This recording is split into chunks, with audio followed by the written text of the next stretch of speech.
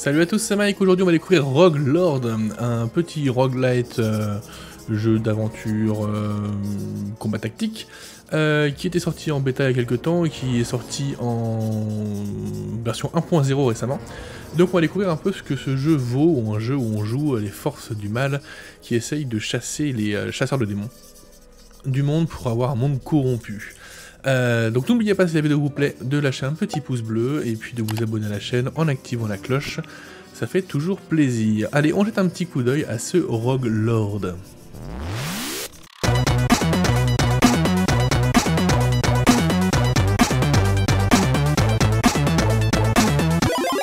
Alors, Rogue Lord, ça se présente comment? Alors déjà, on va jouer des armées euh, de force du mal. Donc là, on voit qu'on a euh, trois personnages pour l'instant débloqués notamment Dracula.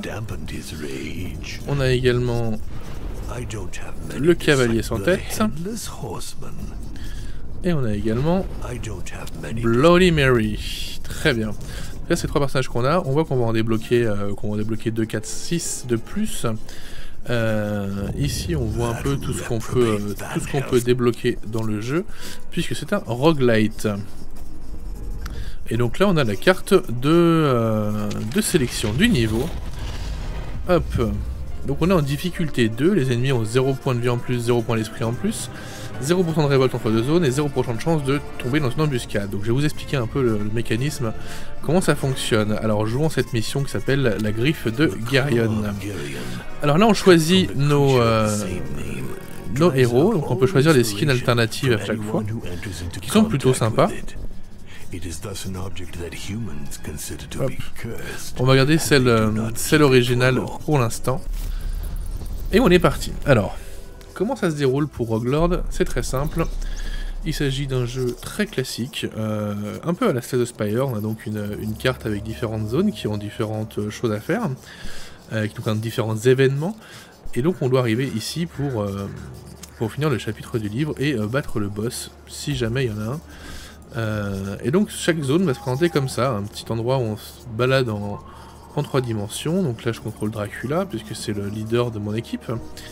Euh, et donc on va lancer le chapitre du livre. Notre première mission. Alors, mes disciples, j'ai coupé le voix. Mes disciples se rendent chez un poète frappé d'impuissance créatrice. Cet individu insignifiant aurait reçu une visite de la sanctuaire humaine, qui est donc la secte qui combat les démons fait qu'il nous a immédiatement alertés. Espérant trouver ici le point de départ dans leur quête de la griffe de Garion, ils entrent dans la cabane délabrée et y découvrent un jeune homme occupé à déchirer férocement des pages couvertes de ratures. Il porte bien la marque de Garion, il nous raconte comment des hommes de la Sanctuaire Lumen ont soudainement débarqué chez lui, attrapé la griffe et sont repartis aussitôt pour la ville de Tevale Pere. C'est donc là qu'iront mes disciples, donc il faut qu'on arrive, euh, à la ville de Tevale Pere. Hop, donc on a fini cette quête. Euh, et donc là on voit que cette quête nous donne accès donc à, euh, à notre influence, ce qui fait que lors du prochain combat, on le voit ici en bas, hein, ça concerne les trois chemins, euh, à l'arrivée dans cette zone, le diable gagne 10 essences et 10 essences max, je vais vous expliquer ce que c'est après. À l'arrivée dans cette zone, le, diable gagne 10 essences, ok, c'est la même chose pour les trois, donc on n'a pas à se casser la tête pour le choix. Euh, donc dès qu'on va arriver dans cette zone, on va gagner 10 essences et 10 essences max. L'essence, c'est ça là, c'est un peu... Euh, c'est pas que nos points de vie, je, vous montrerai après. En tout cas, c'est ça, si ça tombe à 0, on est mort. Donc c'est quand même... Euh, ça, ressemble quand même à des points de vie. Ça ne sert pas qu'à ça. Hop, dès qu'on aura un combat, je vous expliquerai un peu l'interface, comment elle fonctionne. Alors, on va choisir notre, notre trajet. on peut passer à droite, ce qui nous ouvre le chemin de droite, ce qui n'est pas le cas avant. Alors si on examine un peu les symboles, on voit que euh, ça ce sont les icônes de combat, donc il va y avoir un combat. Euh, ça, ce sont des icônes aléatoires, on ne sait pas du tout ce qu'il y a dans cette zone. Ça peut être n'importe lequel des, euh, autres événements. Combat, marchand, événements aléatoires, etc. ici, ce sont les événements qui nous demandent, avec notre, un de nos disciples, un de nos, un de nos démons, là, de, de résoudre un événement, suivant plusieurs caractéristiques, on en reparlera juste après un hôtel sacrificiel qui nous permet de sacrifier une compétence d'un de nos disciples pour en avoir une nouvelle. Je vous expliquerai également après le premier combat comment ça fonctionne. Une fontaine pour se soigner, un marchand. Ici, ce sont des combats d'élite qui nous ramènent des reliques. Et ici, c'est un événement qui, pareil que celui-là, nous fera euh, faire quelque chose avec un de nos personnages. Et enfin, le, le chapitre du livre qui nous permet de terminer le premier chapitre du bouquin. Parce que tout ça, ce sont des bouquins. Euh, alors, est-ce qu'on ouvre le chemin de droite? Pourquoi faire? Pourquoi faire Moi, je le sens plus par là. Euh, ensuite, suivant le résultat qu'on a là, on ira soit à l'événement, soit à la fontaine du Styx. Ensuite au passeur et ensuite au combat on combat ici. On va faire comme ça, je pense. On va faire ce trajet-là. À mon avis, on va faire ce trajet-là. On va voir. En tout cas, on prend au milieu. Alors là, quand on est euh, près d'une sortie, ça ce sont les sorties du coup pour le prochain chemin, on voit qu'il nous met en surbrillance la ligne qu'on a choisie. Là par exemple, je suis sur la ligne de gauche. Si j'avance par ici, je suis sur la ligne du milieu. Et euh, au milieu de l'écran, on nous indique également euh, ce qu'il va y avoir, un combat, et il y a la terreur qui fait qu'on gagnera 10 points d'essence et 10 essences maximum. Hop, alors allons au chemin du milieu, comme on l'a dit. Donc ça paraît, il y a un petit côté d'exploration, mais en fait, euh, il n'y a jamais rien à faire. Hop, on gagne 10 points d'essence max, donc on passe à 60. Et on regagne 10 points d'essence, donc on passe à 60 sur 60. Euh, donc voilà, il n'y a jamais grand chose à explorer. Des fois, il y a des petites quêtes secondaires, mais euh, c'est pas toujours le cas. Donc là, on a juste le combat qui était prévu dans ce petit campement. On va lancer le premier combat et voir comment le jeu fonctionne. Alors ici, on voit qu'on a le palier de terreur. Euh, ce qu'on a eu tout à l'heure, là, c'était de la terreur, hein, les trois bonus qu'on a eu. Dès qu'on arrive à 4, euh, on a des chances d'obtenir des compétences maudites, donc des compétences euh, plus puissantes, et de découvrir une relique. On va aller faire, avant le combat, on va aller faire un petit tour sur le fiche de personnage pour voir comment ça fonctionne un petit peu.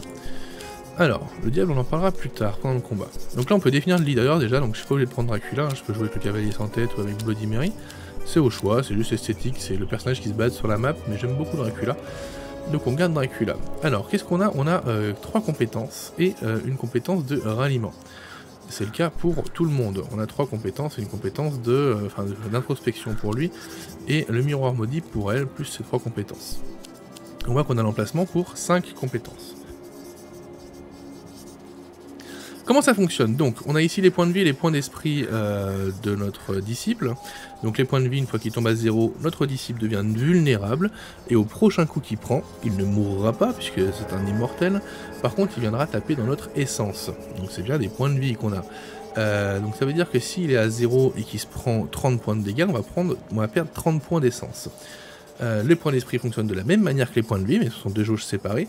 Dès qu'elle tombe à zéro, on est vulnérable, et une fois qu'on est vulnérable, les dégâts qui sont infligés à l'esprit sont transmis sur notre essence. Ce qui est intéressant, c'est que si on est à 1 point de vie et qu'on prend 30 points de dégâts, on descend à 0 et on devient vulnérable, mais le surplus de dommages n'est pas infligé à notre essence. Ce sera le prochain coup qu'il fera. Donc ça peut toujours être intéressant d'être plutôt à 1 point de vie plutôt qu'à 0. Euh, dégâts physiques, dégâts spirituels, ce sont euh, des choses qu'on verra un peu plus tard. Euh, épouvante, occultisme, tentation, discrétion et ruse, ce sont 5 compétences qui vont servir dans les événements, où il y aura des jets de dés, un peu à la manière de n'importe quel jeu de rôle pour tester ces compétences par rapport à ce qu'on essaye de faire avec. On aura bien des événements d'ici la fin de la vidéo, donc vous verrez comment ça fonctionne. Ensuite ici on a les traits positifs et négatifs, un peu la Darkest Dungeon, qui vont donner donc des positifs de compétences, de, euh, de compétences sociales ou de points de vie, de points d'esprit, etc. Et les points négatifs au contraire qui vont nous en enlever. Et enfin les reliques qui sont équipées sur le personnage et on va également en trouver d'ici la fin de la partie je pense. Euh, ici on a donc nos trois compétences, on peut voir que la première c'est une compétence crève-cœur qui inflige 3 à 8 points de dégâts à une cible. La deuxième est une compétence aiguise à la fin qui applique 2 de vampirisme et applique 2 déguisages.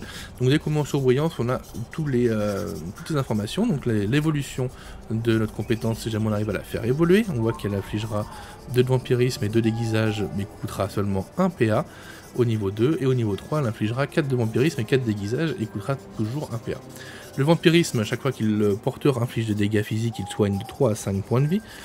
Et enfin, euh, l'aiguisage, plus 4 points de vie infligés par compétence.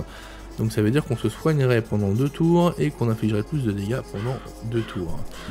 Euh, et enfin, on a le croc de faveur qui vole 2 fois 2 à 3 points de vie à une cible. On a le même principe sur le cavalier sans tête. Alors, avant de passer au cavalier sans tête, on va parler du coup du ralliement qui recharge les compétences de tous les disciples de nos trois disciples. Parce qu'une compétence, une fois qu'elle est utilisée, il faut la recharger pour pouvoir la réutiliser. ça, ça va être important. Ensuite, le cavalier sans tête, qui a euh, évolution, euh, qui a en garde, qui applique un de provocation et un de carapace. Donc provocation, ça fait que l'adversaire vont l'attaquer lui, uniquement lui.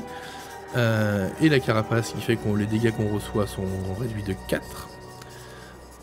On voit qu'au niveau suivant, euh, ça fera 2 provocations et 2 carapaces, et ça coûtera toujours 2 PA, et ça coûtera 1 PA de moins, un point d'action, du coup on en a 5 par tour, on verra ça pendant le combat. Euh, au niveau 3, il a également une entaille qui fait 7 à 12 points de vie et qui applique un de saignement. Alors le saignement est bien, puisque dans le jeu, une fois qu'on a réduit l'ennemi à 0, il faut encore l'attaquer une fois pour le, pour le tuer. Le saignement permet de lui faire des dégâts qui le, tueront au moment où le saignement s'appliquera. Donc le saignement c'est pas si mal que ça. Et on a enfin Charge Dévorante qui vole 9 à 14 points de vie, 9 à 14 points euh, d'esprit. Donc le devil assez bourrin, et donc il a ici euh, Introspection qui recharge ses compétences à lui. Donc pas comme celle de Dracula qui recharge les compétences de tous les disciples. Et enfin la Bloody Mary qui a euh, un poignardage qui inflige 7 à 12 points de vie, qui a un lame miroir qui inflige 2 à 3, de, enfin 2 fois 3 à 5 points de dégâts, et enfin euh, le coup du sort qui réduit l'attaque à venir de 2. Enfin, là, le miroir maudit, les effets des compétences que Bloody Mary lance sur l'ennemi sont reproduits sur l'ennemi devant le miroir. Euh, donc ça recharge les compétences de Bloody Mary et ça permet de placer un miroir sur quelqu'un. Et dès qu'elle fera un dégât d'esprit ou quelque chose comme ça, ou même une réduction d'attaque sur une cible, elle l'infligera via le miroir à une autre cible, celle qui a été sur le miroir. Et si jamais par exemple on inflige 10 points de dégâts à une cible et que cette cible a le miroir, il recevra 20 points de dégâts. Et qu'il en recevra également 10 à travers le miroir. Vous allez voir en jeu c'est beaucoup plus simple. Longuet de diable, on y reviendra un peu plus tard, on verra ça pendant le combat. Hop, on ferme ça, on va lancer le combat et vous allez voir ça va être beaucoup plus clair. Alors, à chaque combat on a un, choix de ce qu'on va gagner derrière. Euh, là par exemple, on peut soit attaquer de front, donc il y aura une vague d'ennemis, alors on voit les vagues d'ennemis, hein. donc ça peut être plus, plus, ou moins difficile suivant ce qu'on choisit. Là vu que c'est le premier combat, ça ne change absolument rien. Euh, et donc ça nous fait des effets de terreur pendant 3 nuits. Donc l'effet de terreur, c'est ce qu'on avait appliqué ici et qu'on peut répéter à chaque étage. Euh, on peut également tendre une embuscade, ce qui fait qu'on gagnera à la fin du combat une en compétence. Et enfin, on peut attaquer discrètement, ce qui fait qu'on aura des âmes. Les âmes qui sont ici, c'est la monnaie d'échange que l'on a avec le marchand, c'est notre, notre argent. Nous, on va choisir la compétence quand même, parce qu'on en manque un petit peu en début de partie. Hop, alors comment ça se passe? C'est très simple, on a nos personnages avec leurs compétences, les ennemis, comme dans tous les jeux du genre, qui affichent leurs intentions au-dessus de leur tête, donc il va nous faire 6 points de dégâts, elle, va infliger un malus. On a ici nos points d'action, on en a 5 par tour. On a nos personnages, on a leur euh, buff. Donc on voit que le, cavalier, à chaque fois qu'il subit des dégâts, il augmente euh, la rancure de 1. Donc ce qu'on va faire, déjà elle, va infliger des dégâts à Bloody. Ça m'arrange pas plus que ça. Donc ce qu'on va faire, c'est qu'on va se faire la provocation. Hop là, donc déjà il faudra que 2 points de vie au lieu d'en perdre plus que ça, donc c'est affiché au-dessus, le nombre de points de vie qu'il va perdre à la fin du tour. Euh, ensuite, on peut, euh, par exemple, mettre un miroir sur elle. Hop là, et maintenant, si on poignarde celle-ci... Ah, j'ai plus le... plus assez Non, j'ai plus assez, tant pis. On fera ça pour le tour d'après, hein. le miroir, il reste, quoi qu'il arrive. Euh, on va se faire... 1, on n'a pas grand-chose. On va juste avoir la petite attaque de, de Dracula. On peut réduire l'attaque de 2, comme ça on prend 0 dégâts. Mais euh, c'est juste attaque à venir, donc ça pas, on peut se permettre de prendre 2 points de dégâts, c'est pas la fin du monde. On va attaquer cette, euh, cette personne. Hop, donc elle est descendue à 19 euh, points de vie. Donc on voit qu'elles ont 24 points de vie, 24, 20 points d'esprit. Si j'avais des attaques qui permettent de faire baisser l'esprit, j'attaquerais sûrement l'esprit. Mais ce n'est pas le cas pour l'instant. Hop, on va finir le tour. Donc elle, elle nous lance une fracture. Et elle, elle a attaqué pour faire perdre les... Euh, elle a perdu 5 points de vie, du coup il en perd que 2. Puisque la fracture fait qu'on augmente les points de vie subis de 3. Ok, donc ils veulent jouer à ça, on va se venger un peu. Alors Bloody Mary, elle va voler des points de vie déjà. Non, elle a full life, donc elle va juste attaquer. Elle va attaquer elle, ce qui va se répercuter sur elle également, ou alors on pourrait tout cibler sur elle. C'est peut-être ce qu'on va faire. Hop, elle perd 24 points de vie, elle est vulnérable. On va prendre notre vampire. Non, on va prendre notre, notre cavalier sans tête. Et on va voler des points de vie. Pourquoi tu ne veux pas voler des points de vie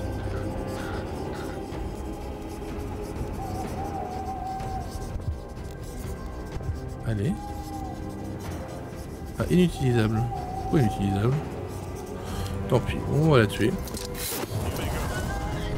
Hop, elle est morte. Euh, Est-ce que je vous montre comment fonctionne le diable, mode diable maintenant? Allez, on va le montrer maintenant, même si c'est pas très euh, optimisé. Euh, donc là, elle va nous faire 5 x 3 points de dégâts. Il faut qu'on empêche ça absolument. Donc ce qu'on va faire, il nous reste un point, il nous reste un point d'action, ce qui est pas ouf. Ce qui est pas ouf. Euh, on va faire ça déjà. Hop, comme ça, elle fait 9 points de dégâts. Et ce qu'on va faire...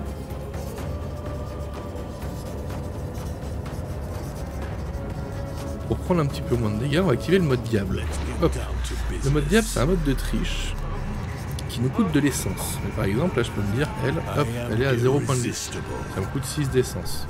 Euh, je peux dire, elle, elle est à 0 points de point d'esprit. Je peux dire que euh, lui, son, sa fracture, là, je vais lui donner à elle plutôt. Comme ça, il prendra moins de points de dégâts. Parce que là, on voit qu'il prend 18 au-dessus de sa tête. Euh, il prend 18 quoi qu'il arrive d'ailleurs. On va faire ça, parce que c'est pas appliqué. Hop, on approuve, et là on voit qu'il prend plus que 9. Et donc voilà, ça nous permet de tricher comme ça en dépensant de l'essence. On peut euh, faire absolument tout ce qu'on veut. Euh, on finit le tour, on va prendre nos 9 points de dégâts. Voilà, ce qui est beaucoup, mais, euh, mais on fait avec. On va du coup... on va du coup... S'ajouter vampirisme et aiguisage. On va lui voler des points de vie.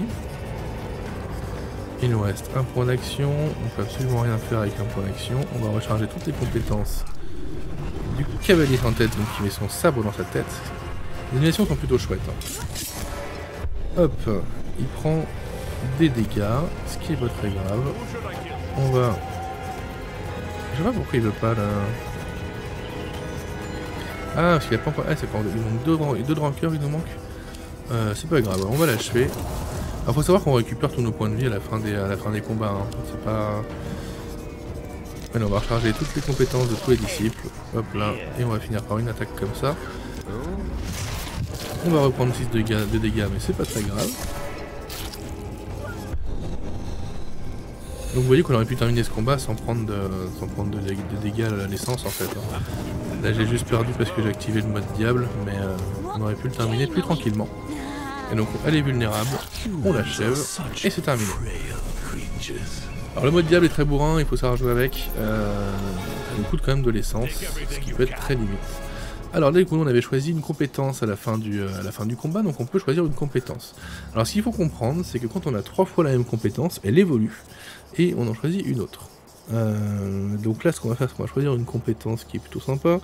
Alors, retire une charge au statut de la cible, applique 2 de dépression. Dépression, c'est en début et fin de tour, ça subit de 5 à 8 points d'e- d'esprit. Donc c'est le saignement de l'esprit en fait. Euh, on peut prendre une deuxième entaille, on a déjà une, ce qui est intéressant. Euh, si on en trouve une troisième, comme ça on pourra, la faire, on pourra les faire évoluer. Ou 7 ans de malheur, inflige 6 à 12 points de dépres- de- d'esprit et applique 2 de dépression. Ça c'est quand même assez bourrin quand même. On va quand même prendre l'entaille. Hop, ça nous en fait une deuxième, donc déjà ça nous permet d'attaquer plus de fois par tour, sans avoir à recharger nos compétences. Enfin pas par tour, mais par, euh, avant d'avoir rechargé nos compétences. Et surtout, ça nous permet de, euh, d'être, euh, de, se dire que dès qu'on en retrouve une, on pourra les faire évoluer. Alors, événement aléatoire. Vos disciples observent de nombreuses traces de pas dans la boue. En s'approchant, ils peuvent ressentir que les forces du bien se sont préparées. Alors, l'humanité se dresse contre vous. Alors là, on a un malus sur ces deux cases-là. Euh, sur la case ici, on a à l'arrivée dans cette zone, les reliques dans l'inventaire sont désactivées jusqu'à la sortie de la zone. On s'en fout un peu. Et euh, à l'arrivée dans cette zone, l'un de vos disciples subit un trait négatif aléatoire. On s'en fout parce que c'est un chemin qu'on ne prendra sûrement pas. Euh, Quoique c'est un chemin de quoi ça? Je sais plus. Donc tant pis.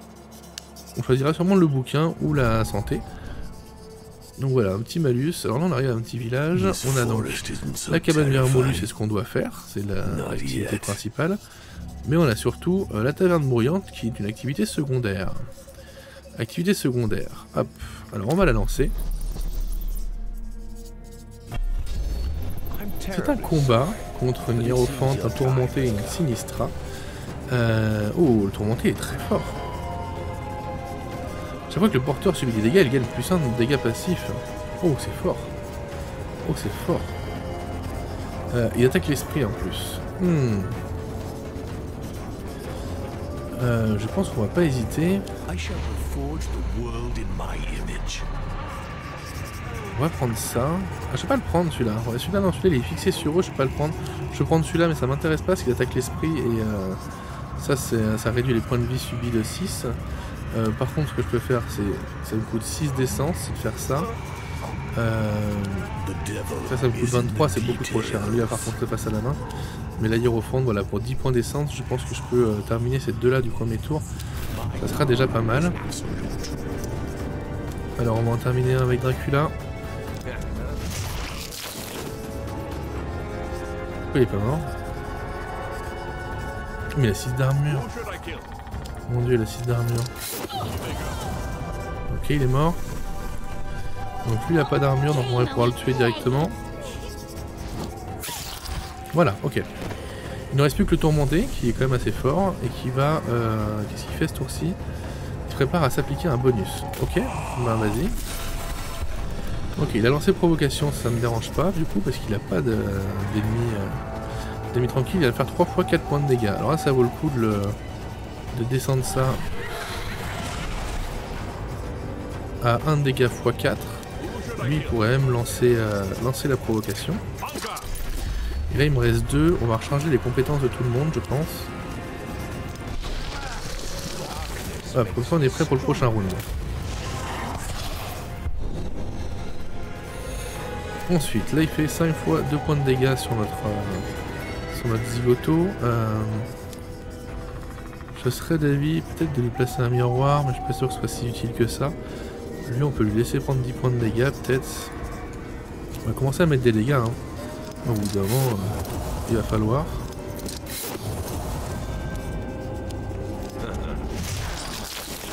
Ok. Ah oui, mais c'est vrai que j'avais oublié qu'il prenait euh, plus 1 de dégâts passifs euh, chaque fois. Après, il prend 16 points de dégâts, coup. Ça, ça change tout. Ça, ça change tout. Euh, il va falloir le tuer assez rapidement. Là, il va se buffer, donc on va essayer de le bourriner quand même. Mais j'ai plus beaucoup de cartes d'attaque, malheureusement. On va lui mettre le miroir. On va recharger les compétences de tout le monde, ça me coûte 2. Hmm.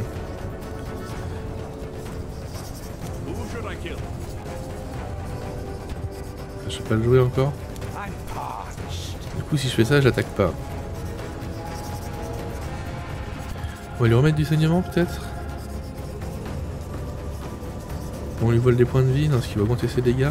Non, on va, on va rajouter les... Euh, ah, je me suis rajouté le vampirisme. Bon, tant pis, c'est pas ce que je voulais faire. Euh, du coup, je peux plus rien faire, on passe le tour. Ok, il se met une carapace, il a 4 d'armure. Sur chaque coup. Hein. Ah non, sur un seul coup. Alors.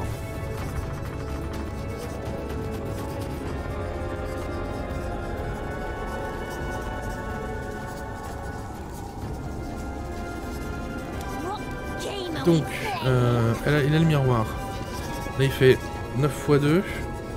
Donc, on peut lui diminuer de 4 déjà. La tour, ça le prix. Ok, il fait 5 x 2. Euh, mais au bout d'un moment, il va falloir lui mettre des dégâts. On n'a pas vraiment le choix.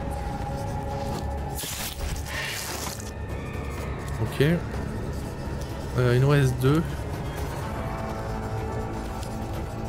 Donc là on va charger les compétences des disciples au bout d'un moment s'il faut. On pas le choix.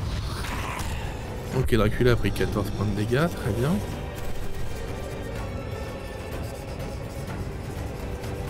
Il à 7-7. Hein. Allez, faut qu'on avance. Euh, on va lui voler des points de vie. On va lui mettre des dégâts avec elle. Parce qu'il y a le miroir. Du coup ça fait 16 points de dégâts. Et avec lui on va lui faire une entaille pour lui mettre en plus du saignement. Pourquoi il ne veut pas Ah j'ai pas assez de... Bon on va faire ça. Il va falloir qu'on l'achève le tour d'après. Parce qu'à mon avis il risque de faire un peu mal. Il s'est mis de la carapace. Il fait 14 x 4. Ah on n'a pas le choix, il lui reste 21 points de vie. Ça nous coûte 6 d'essence. Mais au bout d'un moment il faut ce qu'il faut. Ok. C'est gagné.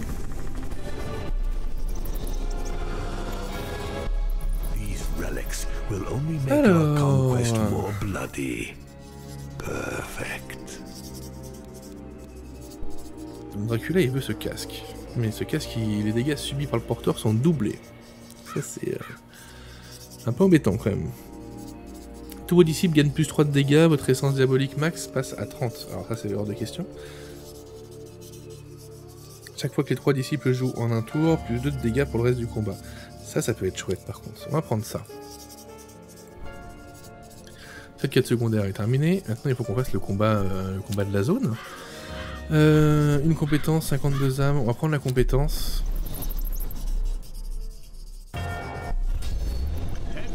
Alors on a un médium, ah là c'est des adversaires qui sont déjà un peu plus à notre portée, ça va, aller. Euh, on va essayer de faire, euh, de faire, jouer tout le monde lors de ce tour-ci. elle, elle a 6 de réduction de dégâts, donc on va éviter de l'attaquer elle pour l'instant. Hop, lui va faire son entaille. Et elle, elle va faire ça. Hop, on gagne plus 2 euh, jusqu'au euh, prochain, enfin jusqu'à la fin du combat. Ça, ça me va. Deuxième tour. Alors Dracula, il peut agir en faisant ça par exemple. Lui, il peut agir en faisant une entaille. Et elle a un, elle a, euh, elle a ça. Donc on va faire ça. On changera nos trucs le tour d'après. Euh...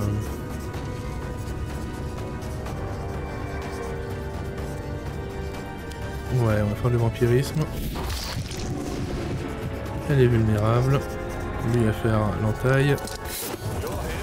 Elle est morte. Et elle, elle va faire... Ah, elle a plus. Si. Hop. on regagne plus de dégâts. On finit le tour. Très bien. Ensuite, on va régénérer toutes nos compétences. Et on va infliger 7 euh, à 12 points de dégâts. 8, c'est pas ouf. L'entaille. Elle est vulnérable. Du coup, elle va se buffer, mais derrière, le saignement devrait l'achever. Ah non, elle s'est mis une armure. Du coup, ça lui sauve un peu la vie. Euh, toi, tu vas lui refaire une entaille. Et elle est morte. Parfait. Bon bah très bien.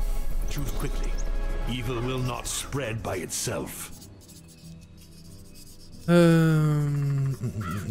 Ah, si on prend en taille, on en a trois, donc on va voir ça, c'est parfait. Donc on prend une troisième entaille, ce qui fait qu'elle se rejoignent en une seule entaille. Donc ça faisait 7, 12 et 1 de saignement. Maintenant une entaille qui fait 12, 17 et 2 de saignement. Très efficace. Par contre on en a qu'une. Ça veut dire qu'on a, on a moins d'attaques, il faut recharger nos caractéristiques plus souvent. Par contre du coup il débloque une caractéristique maudite donc un peu plus forte. Euh, inflige 2 fois 10 à 16 points de dégâts à tous les ennemis, très fort mais ça coûte 3. Inflige 12 à 16 points de vie, retire une amélioration et ajoute une charge au statut du cavalier. C'est pas mal. C'est pas mal pour 2. Inflige 4 à 8 points de vie ou 4 à 8 points d'esprit selon ce dont l'ennemi a le moins besoin. Focalisation, cette compétence applique une altération de 2 par charge de rancœur. Réduit les dégâts de la cible euh, jusqu'au début du prochain tour. Hmm. Je serais quand même bien partant pour... Euh, même si elle coûte très cher celle-ci là. Ça peut faire des gros dégâts quand même. Allez. Alors, après on a le choix entre euh, le bouquin ou le la fontaine. Le truc c'est que derrière il y a un passeur. Le passeur on s'en fout. On va reprendre un peu l'esprit quand même. Allez c'est parti. On va aller euh, récupérer notre essence. Des ouvrages à la gloire de Van Helsing ponctuent régulièrement votre chemin. Vos disciples ressentent une forte influence des forces du bien par ici. Les effets suivants vont affecter la zone. Alors, à l'arrivée dans cette zone, sur le, sur le bouquin, euh, l'un de vos disciples subit un trait négatif aléatoire. Ah, c'est pas cool. Ou le combat d'élite, à l'arrivée dans cette zone, l'un de vos disciples subit un trait négatif aléatoire. Bon, on n'aura pas le choix. On n'aura pas le choix. Alors, sachant qu'ici, si jamais je veux, par exemple, je peux activer le mode diable. Ah non, je peux pas, je suis, sur le chemin. Je suis pas arrivé à un endroit. Voilà, là je suis arrivé à un endroit. Je peux activer le mode diable et me dire... Euh, bon, moi j'ai envie d'aller là. Et je crée un téléporteur. Voilà. mode diable, on triche où on veut, soit en combat ou sur la carte du monde. Donc là je vais pas le faire, parce que c'est pas trop dans mon intérêt. Alors il y a une quête secondaire, le Black Hollow. On va le faire avant d'aller régénérer notre essence, on sait jamais. Alors, euh, c'est un événement. Et là, il faut qu'on choisisse le disciple qui va régler ce problème. Et euh, ça nous donne à peu près euh, les caractères qui risquent de gagner. et là, ça nous dit un peu ce dont il y a besoin. Il y a besoin de tentation, il y a besoin d'épouvante. lui en tentation, bof. Épouvante 3 et tentation 5, c'est pas mal. Épouvante 6, tentation 2 ou épouvante 6, tentation 2. Euh, alors qu'est-ce qu'on va prendre? Il y a du 8 points de vie max, 8.6 et 6. Bon, je prends lui. Les bonus de dégâts physiques et spirituels, c'est pas mal. On va prendre Dracula. Même si c'est pas le plus optimisé, peut-être. Attirés par des cris suppliants, les disciples tombent sur un fermier qui bloque le chemin avec sa charrette. Les inquisiteurs de la sanctuaire humaine l'encerclent furieux. Tu transportes de l'alcool, fermier, tu sais que c'est contraire aux préceptes de la lumière. Tu mérites qu'on te traîne au sanctuaire le plus proche. Mais on accepte de passer l'éponge si tu nous donnes ta cargaison. Le fermier les supplie de l'épargner, mais les inquisiteurs insistent. L'altercation semble partie pour durer une éternité, vous pourriez peut-être en tirer profit. Alors là, si on agit sur la loupe, ça nous détaille un peu plus la scène. Ah, les humains et leur dépendance à l'alcool, Tant qu'ils se laisseront corrompre par la douce emprise de l'ivresse, les forces du mal ne pourront jamais être entièrement vaincues. Alors le chariot, si les inquisiteurs tiennent tant que ça à rompre leurs vœux en consommant l'alcool du fermier, Dracula sera ravi de les aider. Alors, on a donc ici les compétences qui sont utilisées. Euh, on peut convaincre les fermiers d'attaquer les inquisiteurs, on peut aider les inquisiteurs à terrifier les fermiers, on peut tuer tout le monde. Euh, et donc en dessous on a les jauges qui correspondent en fait à notre niveau. Là c'est une difficulté normale, comme on a 5, on a 50% de réussite. Là, c'est une difficulté très facile, on n'a que 3, donc on a 70% de réussite. évidemment, je peux utiliser le mode diable pour me dire non, moi j'ai 100% de réussite. On va faire ça. Et on va convaincre les fermiers d'attaquer les inquisiteurs. J'aurais pu monter à 80%, hein, mais c'est pour illustrer le, mode diable dans les événements. Dracula s'insinue dans l'esprit du fermier pour lui imposer sa voix, et lui dépeint les inquisiteurs comme des imposteurs, indignes du respect qu'il semble leur porter. Le mortel se laisse convaincre par cette voix intérieure, persuadé qu'il s'agit de sa conscience. Il se redresse pour faire face aux inquisiteurs. Aussitôt, les inquisiteurs se mettent en garde, mais le fermier se jette sur eux avec la force d'un taureau. Ses victimes n'ont aucune chance. Il les égorge comme de vulgaires gorées.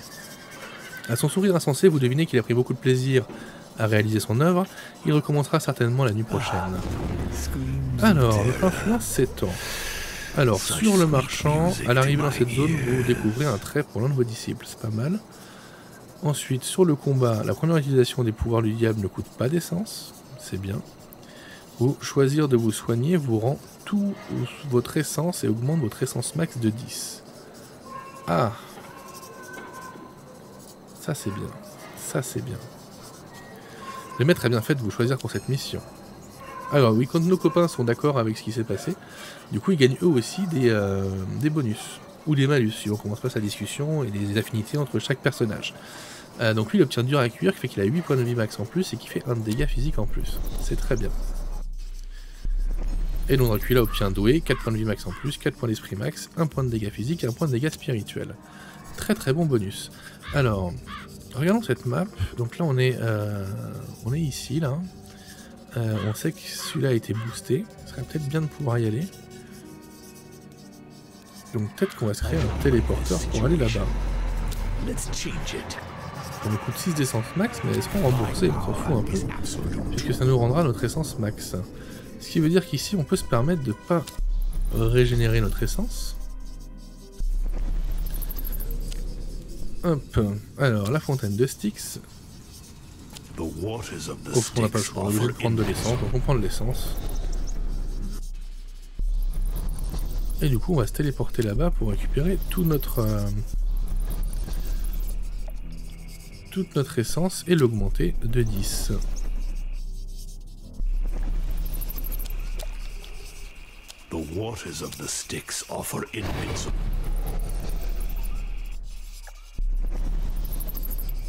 Ok. Pourquoi on l'a pas augmenté de 10 Je comprends pas. Ah, mais c'est celle qui est plus loin en fait. Ah, c'est celle qui est plus loin. Oh bah si j'avais su. Si j'avais su, je serais passé par là. On va faire le combat d'élite quand même pour attraper une relique. Et du coup, on prend un trait négatif. On peut aller 50 âmes. Oh bah c'est pas cool ça. Bon, en même temps, on n'ira pas dans cette zone là, donc c'est pas grave.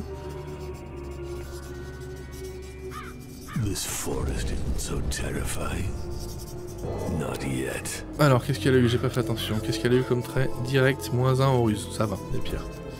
A pire. On n'a pas pris le trait le plus négatif du monde. Donc on a le combat euh, qui est à l'auberge du trappeur. Allons-y. Alors, en effet, le tracker là, il va nous poser problème. Euh, on sait qu'on va se régénérer dans pas longtemps, donc on peut, on peut bourriner. On peut bourriner. On peut activer le mode diable et flinguer euh, ses deux collègues. Ça nous coûte euh, pas grand chose. Et on peut flinguer. Allez, on va, pas se, on va pas se prendre la tête sur ce combat. Puisqu'on sait qu'on se régénère juste derrière.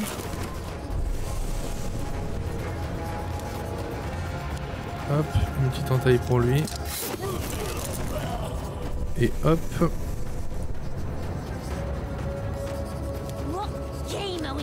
Un petit poignardage pour elle. Et un combat qui aurait dû être très difficile se retrouve très très simple, même si on a perdu la moitié de nos points de vie. Et on va les récupérer dans pas longtemps, c'est pas très grave. Alors, qu'est-ce qu'on a? On a le charme de l'inuit. Vous obtenez un exemplaire maudit de lâcher la bête tant que Dracula est vulnérable. Lui applique un d'esquive au début de chaque tour. Euh, un d'esquive. était la première part de points de vie. Ah. La bête, c'est une compétence qui, euh, qui, est assez bourrine quand on est euh, vulnérable, justement. Mais je suis pas fan de jouer avec ce système. Chaque fois qu'un ennemi meurt, le cavalier reçoit 4 de rancœur. Ça, c'est très fort. Chaque fois que Dracula utilise son rechargement, il gagne plus de dégâts pour ce tour par compétence rechargée. Non, parce que ça, ça coûte 2 le rechargement. Donc, euh, on va prendre les, les stimulants mortuaires pour recevoir plus de, plus de bonus de la part de notre copain. Chapitre du livre. Oh, J'espère qu'il n'y a pas un boss qui est un boss, on risque de perdre du coup, vu qu'on a utilisé notre, notre essence. je crois que c'est le cas, je crois que j'ai fait une erreur stratégique absolument affreuse. Alors, chapitre 2. Mes disciples entrent dans Tevalépéré. Ils s'approchent de la place principale d'où proviennent les voix. Des villageois crient un nom, l'espoir illuminant leurs traits. Caleb, Caleb. La sanctuaire humaine est là, et parmi eux, un homme qui tient la griffe de Gerion, à main nue. Il brandit la griffe et le silence se fait. D'un geste ample, il abat l'artefact sur son bras. Nul sang ne sort de la profonde estafilade, un murmure respectueux se fait entendre. La blessure se referme. Il prend la parole. Servez le sanctuaire humaine et vous serez récompensé. Je comprends immédiatement quelle est la nature de ce Caleb, c'est un être artificiel. Je révèle à mes disciples l'existence d'un magnétiste, spécialiste de tomates, qui a autrefois pactisé avec moi. Ils le trouveront dans la ville de Copialion. Pas de boss. Voici, a pas de boss, c'est très bien. Notre influence s'étend, on est à 2 sur 4 avant la première euh, boost de la terreur. Alors, on va jeter un coup d'œil quand même. Chaque compétence a une promotion entre moins 10 et moins 70%. Ah. On va pas là-bas, on va aller ici, nous.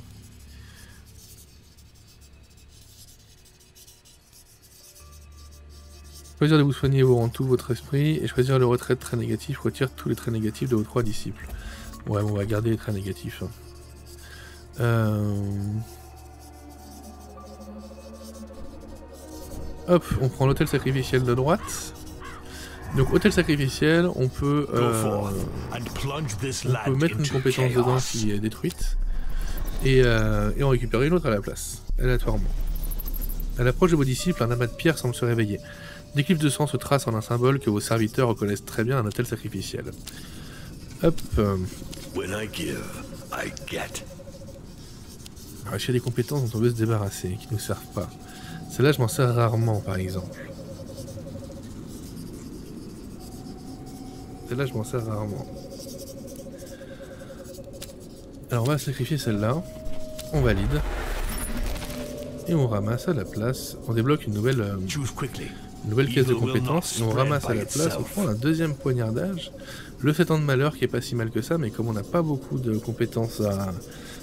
de dégâts de points de, points d'esprit, ça va être compliqué. Donc on va prendre le poignardage pour en avoir un, autre.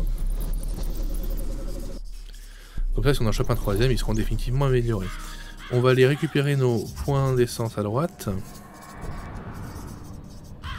On a 3 sur 4, hein. ça n'a pas pris en compte le premier, on a 3 sur 4. On a une cabane vermoulue ici, on va lancer ça avant. Alors, on va prendre qui On va prendre qui? Les 3 de discrétion, ça pourrait être pas mal. Les 2 de ruse et 2 d'occulte, ça peut être bien. 3 de dégâts physiques. Oh, 3 de dégâts physiques. Il faut de la ruse. Alors la ruse, lui, c'est pas son truc. Ça va être... Euh, ouais.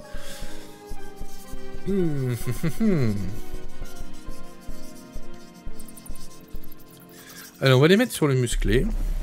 Enfin sur le musclé, sur le cavalier sans tête. Avec hein, musclé sur le cavalier sans tête. Un troupement de corbeaux attire votre attention lorsque vous vous approchez.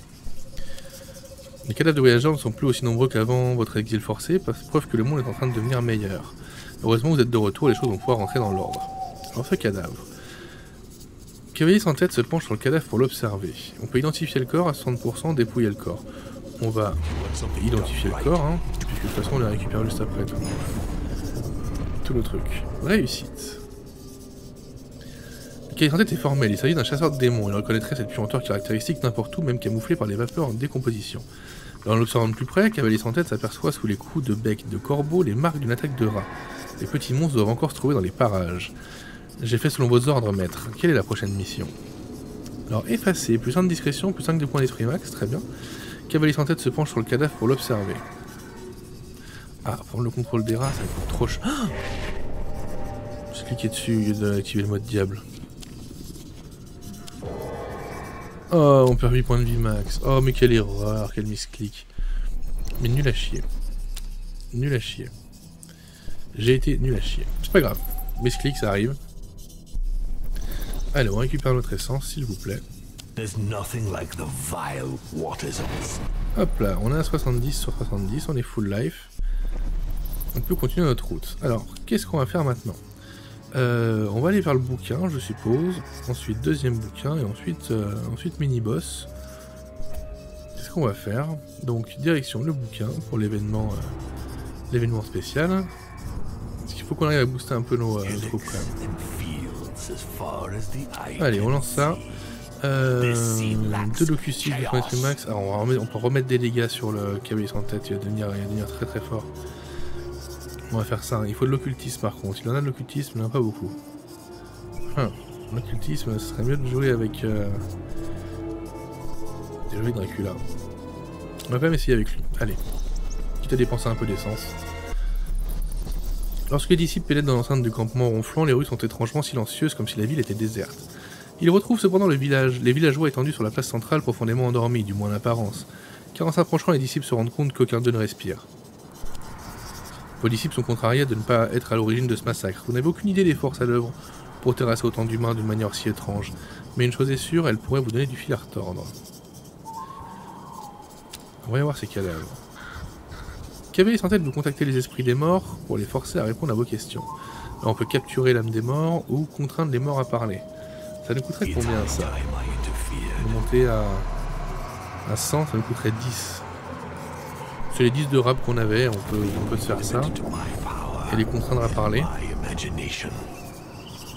Les morts ne résistent pas au rituel d'asservissement du cavalier sans tête. Ils révèlent qu'ils étaient atteints de la peste blanche. La sanctuaire humaine est intervenue soi-disant pour les soigner, en réalité elle a précipité leur fin. Les âmes de la sanctuaire humaine sont déjà revenus une fois pour emporter une partie des dépouilles. Les esprits disent que la secte s'intéresse à leur cœur, ils seraient remplis de magie. Donc là on a une réaction qui fait qu'il gagne captivant, 5 de tentation plus 3 points de vie max, ça compense un peu ce qu'il a perdu tout à l'heure. Sanctuaire humaine doit intervenir cette nuit même pour emporter les restes des cadavres. Si les cœurs regorgent réellement de magie, Cavalier sans tête devrait s'en emparer avant leur arrivée. Euh, on va capturer les âmes des morts, ça nous fait un peu d'argent je suppose. Les âmes de ces humains sont sans défense, vous n'avez qu'à tendre la main pour capturer la preuve au plus capture 42 âmes, c'est pas mal. Et il gagne plus un de ruse, plus un de dégâts physiques et plus un de dégâts spirituels. Donc lui là, lui là, il est quand même, il est quand même à euh, plus 5 dégâts physiques à chaque fois qu'il frappe. Hein. C'est énorme, c'est énorme. Et quand un ennemi meurt, il gagne 4 de rancœur, il devient, ça devient un peu notre, euh, notre god tier. Donc on va le mettre on va le mettre comme leader, comme ça ce sera lui le leader de la troupe. Voilà. En plus il tire son petit sable quand il avance, il est trop mignon. Euh, on n'a pas le choix, on va en direction du prochain événement. En apercevant vos disciples, les paysans fuient et, vont donner l'alerte dans les villages alentours. Vous serez attendu et ça ne sera pas votre avantage. Alors, si on va au combat, on perd 50 âmes. Si on va au bouquin, on a moins 10 à moins 50% de chance de réussite au test. Ah On peut aussi aller ailleurs. On peut aussi aller sur le chemin de droite, comme ça on évite tout ça. Euh, on a Bridgestone qui est là, donc on va faire la quête des Bridgestone, il n'y a pas de quête secondaire. Alors, occultisme et épouvante, ça c'est quelque chose pour, euh, pour personne. Euh, on va le faire avec le...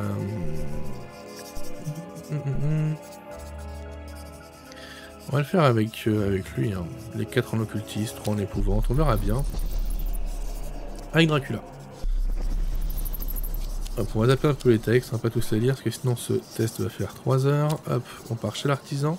C'est bien enchanté son ordinaire qu'elle sait qu'elle est faite pour avoir son Dracula. Euh, maudire le miroir, 60%. On teste, c'est réussi, parfait. Les reflets de ces miroirs ne renverront plus que ce qu'il y a de plus laid et de plus cruel en chacun de ceux qui les admirent. Ok, on augmente la terreur ici, là, plus 2 de PA pendant les combats, c'est très fort. Euh, là on découvre un trait pour les disciples. Ah le 2 de PA il me fait, euh, il me fait envie là. C'est très bien. Très très bien ces plus de PA. Voilà qui est réglé, on passe niveau 2.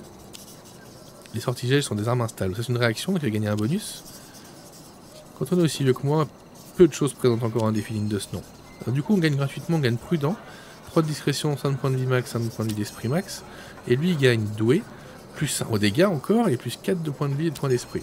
Et lui, il gagne en plus discret, plus de discrétion et de points de vie max. Et enfin, à la fin de cette petite quête, il va aussi gagner le bonus prévu, 3 de dégâts physiques, 3 de points de vie max. Alors là, on a, là c'était euh, assez énorme. on avait une chance sur 4 de gagner une relique, c'est bon. Euh, augmente de 20% les gains d'âme. Chaque fois que vous obtenez un effet de terreur, vous obtenez également 20 âmes. Ou tous vos disciples ont plus 1 de dégâts par palier de 40 âmes possédées. On va prendre ça. On n'est pas prêt de les, euh, les perdre ces âmes pour l'instant. Il n'y a pas de, pas de marchand à proximité. On va aller faire ce. C'est bien celui-là hein, où on a plus de PA. Plus de PA pendant les combats. Très bien, c'est parfait. C'est parfait. Allons combattre cette élite avec ce bonus euh, assez bourrin. Alors on pourrait faire la cabane abandonnée avant, on va essayer. Il faut l'occultisme et de la tentation. Euh, c'est pas mal pour Dracula. On va partir avec lui. Même si les deux dégâts de physique sur lui m'intéresseraient, mais là on va arrêter d'utiliser notre essence. Hein. On arrive à la fin de la map, j'ai pas envie de mourir devant un boss. Volipice s'apprête à quitter la cabane abandonnée lorsqu'un homme louche caché dans l'ombre les interpelle. Et vous vous avez l'air bien palo, vous êtes malade Pour une méchante grippe, peut-être même pire, la peste blanche. C'est un connard de Lumen là. Ce charlatan dit la vérité. Dracula distingue l'odeur de la chair humaine dans sa mixture. On consommer le requin crame et il connaît d'autres utilisations à ce genre d'ingrédients. Euh, on peut maudire les potions ou pactiser avec le charlatan? On a 50% là, c'est normal. Peut-être aller. Peut-être passer à 80% pour 5. Ok, c'est réussi. La de cet homme est palpable. En lui promettant que l'argent ne viendra jamais à lui manquer, Dracula le convaincant trop de mal de signer un pacte avec vous. Certains prendraient peur à la mention du diable. Ce sont des faibles d'esprit. Pour ma part, je ne reculerai devant rien pour devenir riche. Qu'est-ce que je dois faire pour mériter cet or? Fabriquer des potions démoniaques, briser la réputation de la sanctuaire lui-même ou dévorer son âme On pourrait briser la réputation de la sanctuaire lui-même. En modifiant légèrement son histoire, Charlatan peut faire passer la sanctuaire lui-même pour ses fournisseurs directs prêts à massacrer les innocents pour les ravitailler en cœur humain. Les mortels sont des crédules, la rumeur selon laquelle la sanctuaire humaine est une secte sanguinaire ne tardera pas à faire le tour du nouveau monde. Il devrait perdre un bon nombre de fidèles durant les prochaines nuits. Hop. Bonus sur les trois zones, un trait de disciple ici, euh, un trait de disciple sur l'élite qui est là, et 60 euh, âmes sur l'élite qui est là. Parfait. C'est pas mal. Hop, un petit, euh, un petit, une petite, un petit trait gratos, 2 de tentation, 3 de points vie max. On prend. Plus le trait 3 euh, de ruse et 10 d'esprit max, on est pas mal. Notre Dracula là, il est pas mal. Il est pas mal, on voit qu'il a 44 points de vie, 44 points d'esprit, plus 4 dégâts. Il est quand même à 7 tentations, discrétion et ruse. Il est vraiment pas mal. Alors oui, je voulais vous montrer l'onglet diable ici là. Euh, qui nous montre donc nos reliques de combat, celles qu'on a eues, les autres reliques, donc celles qui jouent sur, euh, sur, sur euh, enfin les autres reliques qu'on a eues hors combat. et ici on a la description de tous les pouvoirs du diable qu'on peut utiliser, voilà tout simplement. ça, ça, ne servait qu'à ça. Euh, on va faire le combat d'élite de la zone. On a plus de PA pour le combat, ça c'est parfait.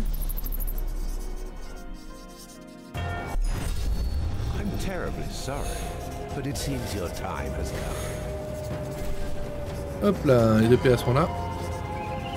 Alors on va pouvoir se lâcher un peu. Euh, oh, par contre elle a 120 points de vie. Et elle régène de 8. Elle va soigner pour 8 bien essayer de se débarrasser euh, très rapidement de ces... Là ça fait 20 à 25. Ça c'est... On n'hésite pas une seconde. Hein. On n'hésite pas une seconde, on va faire ça. Encore vulnérable, ce qui est dommage. On pourrait faire ça pour 3. Ok, elle, elle est morte du coup, c'est très bien. Elle, elle est vulnérable, ce qui est parfait. Du coup, elle, elle peut faire ça. Hop là, bon, gros tour, gros premier tour avec nos 7 points d'action. Forcément, c'est plus simple. Lui, il est déjà à 5 de rancœur. On finit le tour. Donc elle, elle gagne plus 1 de dégâts physiques. Et là, elle va nous faire 7 x 2. Elle. On va le mettre en garde. On va, euh, elle, lui faire réduire l'attaque quand même. Donc là il perdra que 2 points de vie, ce qui me va très très bien. Euh, il nous reste 4, donc lui on va lui mettre... Euh, on va faire une attaque. Non, si on doit faire une attaque à 2, si on doit faire une attaque à 2, euh, là on peut voler des points de vie mais ça n'a aucun intérêt pour l'instant. Autant les garder, elle, elle peut faire 9-14 ce qui est pas mal. Et lui il va, hop, faire plus de dégâts parce que tout le monde a attaqué ce tour-ci. Tout le monde a joué ce tour-ci et en plus euh, recharger chaque, euh, chaque compétence. Hop, lui il perd 2 points de dégâts, c'est très bien. Ça me va. Il va pouvoir nous refaire une entaille à beaucoup. Voilà. Et nous faire ça également. Hop, il lui reste 2 points de vie, mais en plus elle a les, euh, le saignement. Donc on peut, avec un peu de chance, on peut l'achever.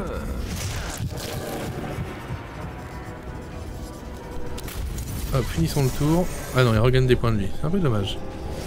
Euh, bon bah du coup, achevons là maintenant. En faisant ça. Elle est vulnérable. Et elle a un petit coup de poignard. Hop, un combat rondement mené. Vous écoutez un tout petit peu. Non, même pas, on n'a pas activé le mode diable, je crois. Donc un combat rondement mené.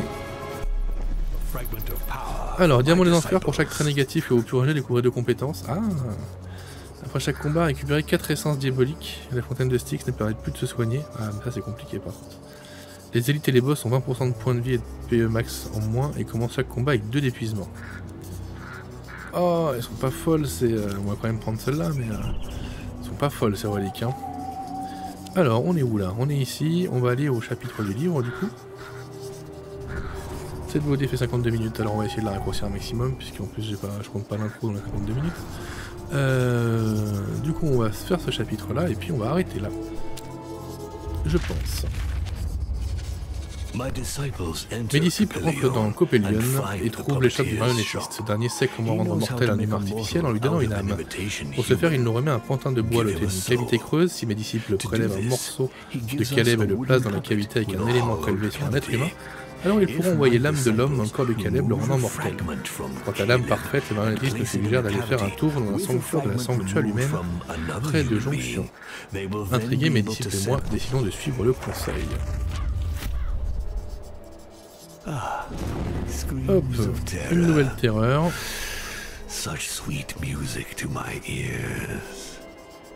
Ah, c'est pas mal ça. Là on gagne de l'essence max, c'est pas mal. Euh... Bon, en tout cas, on va s'arrêter là. Alors voilà, c'était euh... c'est un, un, jeu très sympa. C'est un jeu vraiment, vraiment très sympa. Euh... C'est un jeu qui a pas mal de choses à débloquer. C'est un vrai bon petit roguelite. Euh, les mécaniques fonctionnent vraiment très bien. Après, bon voilà, je suis au tout début, j'ai pas débloqué d'autres personnages. Euh, j'ai pas débloqué toutes les reliques, toutes les breloques possibles, puisqu'à la fin de chaque partie, évidemment, on va débloquer d'autres choses. Donc voilà, c'était pour, pour vous présenter le jeu, vraiment plutôt chouette. Il est sorti il n'y a pas très longtemps, ça fait, même si ça fait longtemps qu'il est en bêta, c'est la version 1.0 est très récente. Donc voilà, c'était pour présenter ce petit jeu. J'espère en tout cas que ça vous a plu. Euh, donc c'était Rogue Lords, c'était bien. Et je vous le conseille si jamais vous, êtes en, manque de, de petits roguelites euh, inspirés de ce qui se fait de mieux. Et en même temps avec son, euh, sa petite patte, sa petite originalité. Et ce mode dial qui est quand même très plaisant, on va pas, on va pas se le cacher. Allez, je vous fais des gros bisous et je vous dis à bientôt